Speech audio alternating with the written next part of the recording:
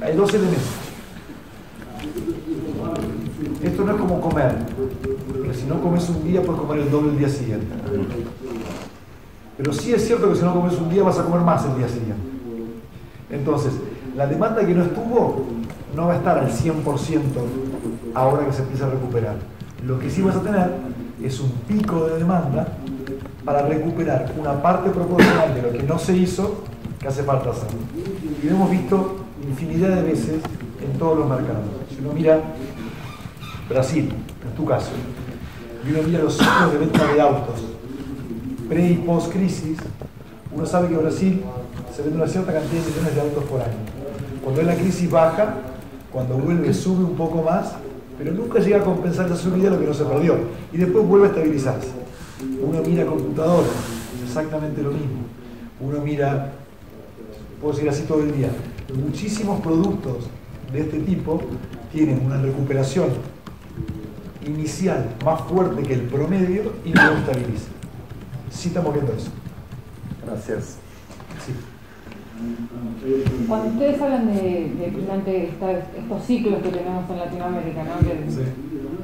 casi todos nuestros países los han pasado desde algún lugar, esa demora también coincide en este momento con la nube que ustedes hablan. Por ejemplo, muchas empresas por migrar a la nube dejan de comprar para sus propios data centers, dejan de tener sus propios data centers teniendo en cuenta los sectores hay regulaciones distintas, ¿no? Los bancos no pueden sacar con Argentina los datos al exterior.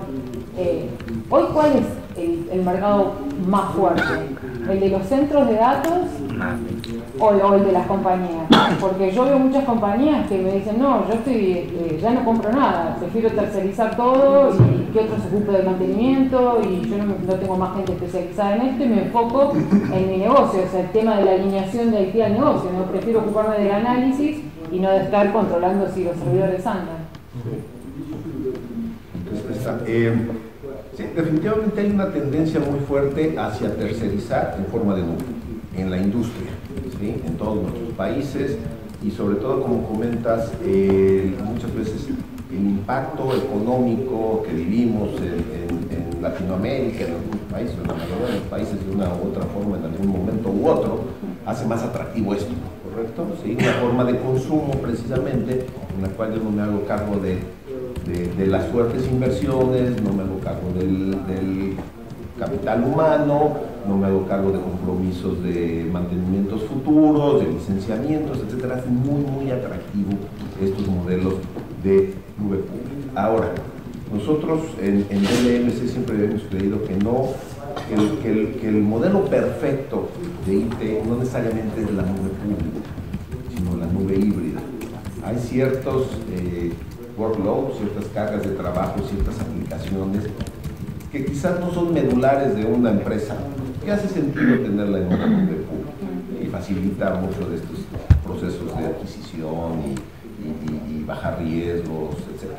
Pero también lo que vemos es difícilmente para un cliente en el largo plazo, cuando la escala crece de esto que está pasando en la nube pública, va a ser conveniente. Entonces, una nube privada la mejor solución para ciertas aplicaciones. Entonces, por eso vemos que una nube híbrida, en la mayoría de las ocasiones, es, es- es la solución más, más indicada. Tener ambos mundos, tener la facilidad de convivir dos nubes y ver qué, qué- qué tipo de nube se va a usar para qué tipo de, eh, de aplicativo, como comento, aplicativos críticos, aplicativos que por legislación no se pueden sacar datos, aplicativos los que si quiere tener el control, tenemos en una nube privada. ¿no? Y nosotros precisamente lo que vemos es una nube híbrida. La facilidad de los clientes dice hacia una nube híbrida para aprovechar ambas tendencias, ambas tendencias y ambos requerimientos del negocio. Ah, pensá que en Latinoamérica vos tenés dos variables que son un poco distintas que las de los mercados más desarrollados. La primera son los. De la misma forma que cuando tenés un ciclo de baja, si vos tenés todo in-house, podés no invertir en un modelo de nube, en un ciclo de baja, estás obligado a invertir. Entonces, eso hay empresas que dicen, mira, yo prefiero un modelo donde voy más despacio, pero siempre puedo tener esto, que por tener un ciclo de baja, comprometer mi capacidad de tener los servicios. Eso por un lado. de el punto octavo, la nube híbrida te da la flexibilidad de, dependiendo del momento económico, ir un poco más para acá o ir un poco más para acá. Y el segundo elemento son el costo y la calidad de las comunicaciones. Hay elementos en una solución de nube que tienen que ver con el costo de comunicarme, que es mucho más alto que los mercados centrales, y por lo tanto parte del beneficio de costo que podría tener irme a la nube, lo pierdo por los costos de comunicación. Y segundo y mucho más importante, es el tema de la calidad de la comunicación. Hay niveles de latencia en la comunicación, niveles de calidad o de, o de de los vínculos que no siempre permiten que vos tengas el nivel de servicio que necesitas. Entonces, dependiendo de la ciudad, dependiendo de la carga de trabajo, como decía Octavio, y dependiendo de las características de la compañía, puede tener mayor o menor sentido tener una mayor o menor preponderancia de la nube. Recuerdo tu pregunta inicial, entre dos tercios y 75%, o sea, entre 65 y 75% del consumo de tecnología hoy de centros de cómputos sigue siendo in-house. O sea, que es una tendencia, tenemos visto ciclos de tendencias similares en un montón de productos. Hace tres años, cuando la tablet estaba creciendo, todo el mundo hablaba, todo el mundo ve una tablet. Hoy, hoy, el mercado mundial de PCs y notebooks crece, mientras que el de tablets decrece en doble dígito. Los ciclos de tecnología son muy difíciles de prever. Tienen que ver a veces con la ansiedad de la gente de probar algo, entenderlo y luego después decidir si lo quiere seguir teniendo o no. En el caso de la nube, la ventaja como decía Octavio, que tiene un modelo híbrido, es que a mí me permite probar sin por eso comprometer mi futuro hacia un lado. É, me, me, parece que o foco em nuvem híbrida de Dell IMC é, é mais uma estratégia do que uma tendência, porque os grandes players, Amazon, Microsoft, Google, estão investindo agressivamente em nuvem pública para conquistar as grandes corporações. Se vocês imaginar que no mercado latino-americano o custo do dinheiro é muito alto, os juros são estratosféricos, há uma tendência de las empresas caminharem muito fortemente para a nuvem pública, não? Es, una, sí, como, como, comentamos, es una tendencia, sí, quizás hoy en día, y porque es algo, digas, novedoso, está creciendo más rápidamente que el IT tradicional. Como comentábamos, todavía un alto porcentaje, un 75% de la inversión está dentro de la forma tradicional de compra de, los, de los como comentas, el hecho de tener una nube tiene muchas, muchas ventajas, como lo veíamos aquí precisamente, el, el, no comprometer un CAPEX, el pago de acuerdo al uso, el no tenerse que preocupar de, de un staff técnico, etcétera. Hay muchas, muchas de esas, de esas ventajas. Sin embargo, también hay algunas desventajas. Se ha visto que cuando se alcanza cierta escala, cierta facturación mensual hacia una nube pública, la ventaja financiera ya no existe. Es más barato tener el IT, el IT in-house. Sin embargo, se pierden algunas ventajas que también este, pues, la nube pública tiene. Entonces, nosotros no vemos ni que se vaya a ir de todo de un lado, ni que se quede todo de un lado, ni pública ni privada. Por eso hablamos de una híbrida. Eh, y como cuentas, hay jugadores que su oferta es nube pública, tienen que promover nube pública. Nosotros tenemos una nube pública, el Virtue pero lo tenemos muy eh, enfocada hacia aplicaciones de visión y nosotros no competimos en el, mundo masivo de, la, de la nube pública, sino para eh, requerimientos muy específicos de las organizaciones donde necesitan correr misión crítica con un SAP ¿sí? en la nube. Y tenemos esa, esa, esa oferta, como les comento. Eh, entonces, por esta situación que vemos en el mercado es que nosotros decidimos ver que es una nube híbrida.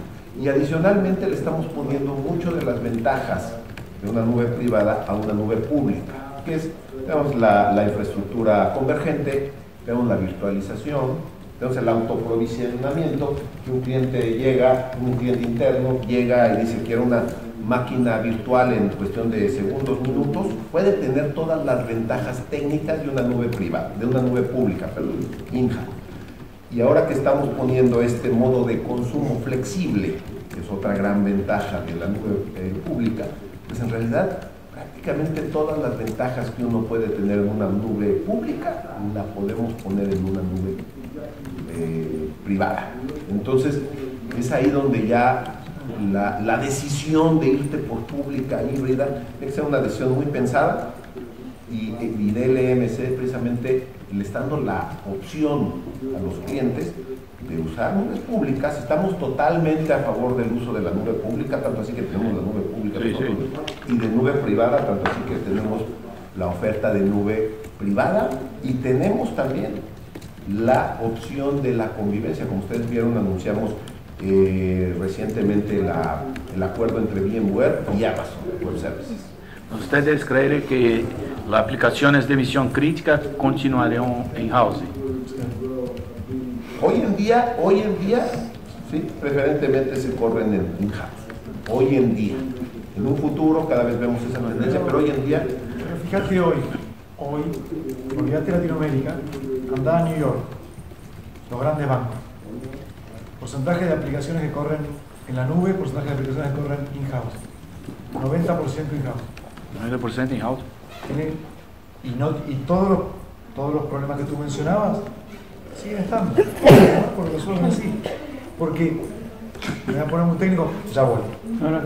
Pero todos los problemas que vos mencionaste de Latinoamérica, los juros, costo del dinero y demás, no son ajenos al proveedor de web el proveedor de cloud que instala, se instala en Brasil, en su modelo financiero, tiene incluido el costo del dinero y el costo del, y los de Brasil. Entonces al final del día, más tarde o más temprano, lo va a transferir al precio.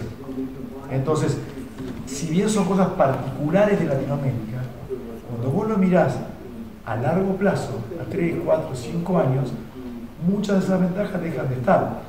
Y los grandes valores de una nube pública no terminan siendo necesariamente financieros, terminan siendo mucho más de foco, como decía ella, poco más de decir, en esto que es core mi negocio, que es diferenciador de mi negocio, que es una parte donde no puedo arriesgarme que me pase nada, lo voy a dejar adentro. En esto que es accesorio a mi negocio, que no es central ni diferenciador, lo puedo llevar a una nube pública. Y no hay una regla que responda a todos los clientes, pero es, en términos generales, cómo, cómo va pivotando. Sí, quería preguntarles, eh, hablando de estas tendencias de uso de tecnología que estamos hablando, ¿cómo ustedes ven el, perfil del, del partner de, de en el futuro por definición? O sea, el partner piensa, está pensando en su proyecto de negocio de acá a cinco años, ¿hacia dónde tiene que estar apuntando? Estamos, estamos precisamente eh, muy interesados y tenemos un programa para meter a los partners en todo este movimiento hacia el cloud.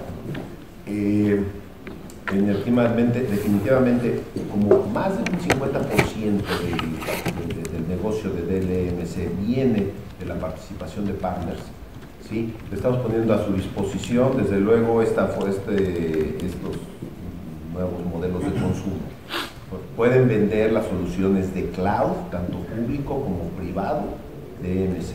Se anunció recientemente en este, en este evento eh, la participación dentro del programa de partners de, DLMC VirtuStream. VirtuStream es nuestra, como les comentaba, nuestra oferta de nube pública para aplicaciones de emisión pública. Los partners ya la pueden vender y es parte integral del programa de partners de DLMC. Entonces, hay muchas iniciativas, todas ellas enfocadas hacia atraer a los partners hacia proveer estas soluciones de nube. O sea que la idea es que los, partners, Leonardo Gabriel y Haití Latam, me olvidé de esa parte. Eh, la idea es que los partners empiecen a virar su, foco también, no solamente en, lo que es la implementación de infraestructura, sino la venta o la reventa de, no, complementen su, complementen su oferta que hoy tienen con estas tendencias del mercado. Al final del día, la forma más fácil de verlo es, no hay una diferencia entre lo que puede hacer un vendedor de él y lo que pasa en un partner. Tienen acceso a la misma tecnología, acceso al mismo producto, a las mismas ofertas y a las mismas condiciones. No cambia nada. De hecho, el programa nuestro de canales, que empezó en febrero ya como un único programa de Daily MC, es decir, logramos unificar el programa antes de empezar el año fiscal, que es un gran logro cuando uno piensa, que eran dos programas bastante distintos, tiene en cuenta no solamente lo que venían haciendo bien las dos compañías, sino cómo llevarlos a un, a un próximo nivel, a nivel de certificaciones, a nivel de rebates, a nivel de fondos, a nivel de capacitación. Un montón de aspectos que hacen que ellos estén listos para ir de la mano con nosotros hacia adelante. Con lo cual, cuando, cuando uno mira lo que puede hacer un partner de Dell EMC hoy, o lo que puede hacer un vendedor de Dell EMC hoy, no hay mucha diferencia. De hecho, en todo caso, el partner tiene además de lo que puede hacer un vendedor de Dell EMC, aquellas competencias específicas del partner. Es decir, un partner que se dedica a soluciones de seguridad, o un partner que se dedica a soluciones de monitoreo, o de video, o de lo que sea, además del core competence de él, le suma un- un- una capa específica de eso. Eh, perdón. Eh, ha dicho que hace tres años que las compañías de Latinoamérica no hacen inversiones. Me gustaría tener un poco de visión de largo plazo, de por los próximos cinco años, que, que pensáis, eh, que piensan ustedes acerca de, de las compañías volviendo a hacer inversiones. Yo. No dije que no hacen inversión, dije que sea menos inversión. Si no hacen inversiones, cerramos la oficina todos. Han hecho menos inversión. Eh, creo que ya se está dando hoy que hay muchísima más inversión. No hace falta esperar cinco años más. Lo segundo es, por cómo es la tecnología, el tiempo hace que consiga la misma capacidad de procesamiento por muchísimo menos costo. Entonces, lo que vos vas viendo es que, es que cada vez cuesta menos para una compañía tener un centro de cómputo actualizado porque el costo de la tecnología va bajando. Entonces, a nivel de refresh, que vamos a ir muchísimo más rápido de lo que veíamos. A nivel de capacidad de procesamiento y de, almacenamiento de datos y demás, mucho más rápido de lo que veíamos. A nivel de dólares o de ventas, habrá que ir viendo cómo evoluciona. Es- es- eh, comentabas que cuál es nuestra visión a los próximos cinco años en términos de inversión. Definitivamente quisiéramos ser positivos, somos positivos, somos optimistas de lo que viene. Sabemos que aquí en la región muchas veces nos suceden cuestiones eh, sorpresivas, tanto económicas, políticas, etcétera. Entonces, entonces es, es difícil prever cinco años, pero te puedo decir que en general estamos optimistas del crecimiento que va a existir en la región y de consumo de tecnología. Soy manager de una organización de salud que además tiene un ecosistema de dispositivos especializados que también tengo que incorporar a esto, controlar, integrar y verlos en una pantalla en tiempo real todos ellos. Eso, eso exige un talento de conocimiento que mi pregunta es cómo juega de él para acercarlo a nivel de, de prácticas verticales, ¿no? Porque de repente el cliente más poderoso que tradicionalmente tú tenías, que puede ser la banca, es el menos disruptivo por temas de- de regulación. Entonces no está allí la oportunidad de, de expandir el ecosistema digital, de sacarle capas, capas, perdón. A nivel de esos conocimientos verticales, ¿cómo juegan ustedes en, en la región? ¿Tienen cómo acercarlo? Lo, lo dividimos en dos. Sí. Por favor, la primera parte de tu comentario, tengo que explicar en el vertical. Es cierto lo que dices. De hecho, es fundamental lo que dices. Cuando vos mirás los pilares que tiene Dell habituales, IT Transformation, Transformation, están queriendo resolver eso. ¿Cuál es el problema que tenés hoy? Vos vas a una compañía habitual y consume gran parte de sus recursos, que no es solamente el dinero en inversiones, sino también la gente buena, en mantener día, en simplemente operar. Si a eso vos le sumás una revolución digital como está viviendo, nadie le va a dar el doble presupuesto de la IT. Lamentablemente estaría buenísimo que lo hagan, pero no lo van a hacer. Entonces, en ese camino hacia la revolución digital, lo primero que hay que hacer es modernizar la infraestructura, porque eso a mí lo que me permite es liberar recursos que están todo el día operando para poder innovar. Esos recursos, uno siempre cree que el principal impedimento es la infraestructura. Y no es cierto. No es cierto. Cuando uno habla con los clientes, y nos pasa a nosotros internamente también con nuestra área de sistemas, el principal impedimento para innovar más es que la gente buena, lamentablemente, la tengo que usar para operar y no para innovar. Porque mantener sistemas viejos en un mundo tan dinámico requiere un set de skills muy alto. La única forma que yo rompo ese paradigma es si modernizo mi IT, lo transformo, libero recursos de gente buena para innovar y mantengo esa operación de una forma mucho más económica. Eso me da las dos partes, me da la parte económica para innovar y la gente que conoce mi compañía y la tecnología para innovar. ¿Qué les falta de eso? Tu comentario. ¿Cómo hago? Ahora tengo la gente, tengo el dinero, ¿cómo innovo? Y ahí entra el tema vertical. Esa es la parte complicada y ya me la dejaste.